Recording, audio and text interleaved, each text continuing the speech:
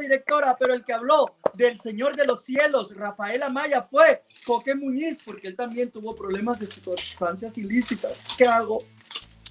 No, o sea, no, no tendría nada que decir porque es, es tan personal. Estas cosas son tan personales que hay que respetar al que lo comenta y al que no lo comenta. Porque una de las cosas que hacen daño es, me imagino, que cuando estás en, uno, en el ojo del, del huracán, que, que, sientes que estás siendo juzgado. Pero nadie, nadie se salva de tener un problema, pero yo creo que la familia es la mejor este, medicina para ese tipo de cosas y tener la oportunidad del tiempo que te vean y que te, se den cuenta de qué tan bien o qué tan mal vas. Hay cosas que no se pueden ocultar, la salud, el amor y el dinero, aunque quisiéramos no lo podemos ocultar. Se ve cuando alguien está enfermo, se siente cuando alguien habla y está fuera de lugar, igual.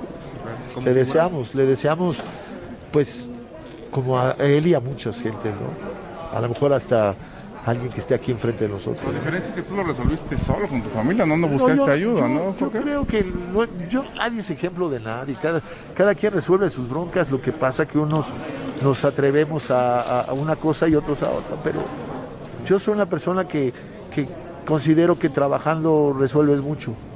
Estar ocupado, estar con ganas de producir algo, de no quedarte viendo pasar la vida, porque todos tenemos momentos donde te agobia las deudas, los compromisos, los problemas, pero la única fórmula es pararte y trabajar. En tu experiencia, ¿qué fue lo que te hizo tocar fondo? Yo para, no he tocado para, nunca fondo. Para no. decidir salir. Yo de no, esa no, no, no, pero yo nunca he estado en una situación como para, para decir que estuve enfermo de algo. ¿no? Pero se comenta a la gente, yo digo, el tiempo pone a las cosas en su lugar. ¿Me ven bien o me ven No, no, no. Pero sí. Como figura pública, imagínate el doble de complicado, ¿no? Yo no sé, mano, debe de cada quien, debe de... Es que yo no, yo no soy experto en esa materia. He vivido con gente alrededor y tú y tú y cada uno de los que nos están viendo que saben que, que son cosas muy personales. Yo sería incapaz de hablar o dar un consejo porque no soy quien para dar consejos. Claro. No, yo, yo creo que no. Oye, mi querida Citlali, que este, qué prudente Coque Muñiz, ¿no? Con, con, sus declaraciones, porque es triste lo que está pasando a Rafael Amaya, ¿no? Después de tener todo el éxito del mundo. ¡Ay, qué pasó! Espérame. Ay, Dios Justamente. Mío. Ay, Primero miren, que miren, nada, miren cómo no pueden, miren cómo no pueden con nosotros. No pueden con nosotros. Tienen una colección de abanicos. Ay.